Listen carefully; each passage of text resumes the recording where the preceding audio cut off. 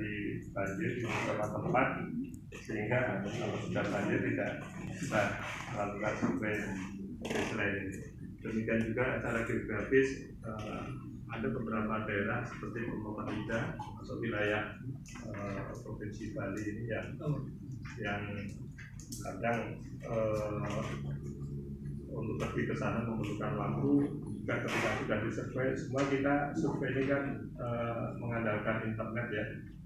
Eh, harus apa tersedia internet difoto koordinat dan sebagainya itu begitu sampai di lokasi kemudian tidak ada sinyal dan seterusnya sehingga mengalami keterlambatan ketika kami harus menyampaikan laporan hasil survei baseline. Dan yang terakhir terkait dengan berita acara survei baseline, survei sudah selesai, namun berita acara